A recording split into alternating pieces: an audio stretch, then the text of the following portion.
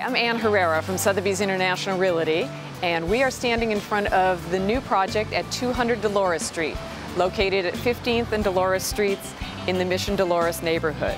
Wonderful new construction of 10 units here on the corner and three renovated units in the historic Victorian building.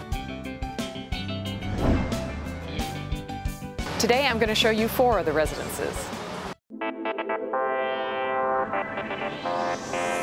We are in Residence 8, which is on the top two floors of the renovated Victorian building. This is a three bedroom, three and a half bath unit, the only one in this development. A lovely open floor plan with a gas fireplace.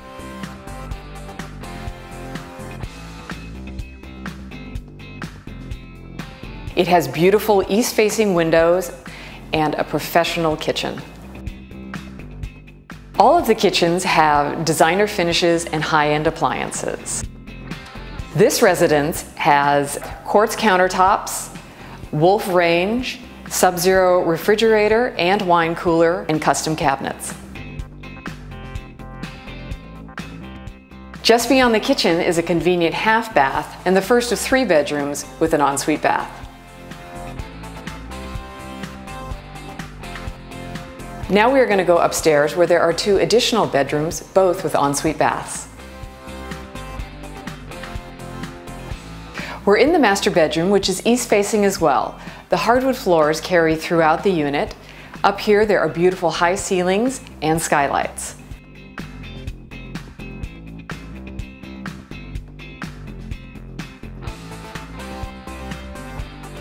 We have nine spectacular two-bedroom townhomes. I'm going to show you two of them and we're going to start in Unit 4.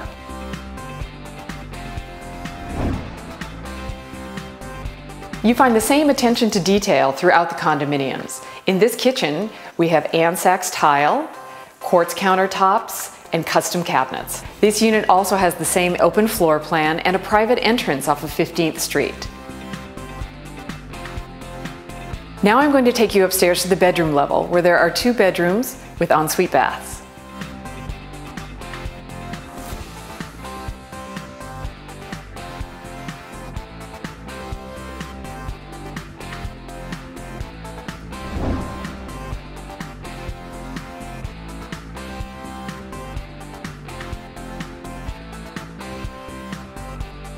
In this unit, the staircase leads up to the exclusive use roof deck.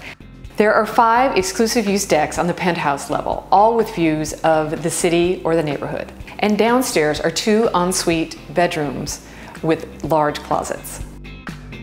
The bedrooms are all downstairs on the penthouse level units.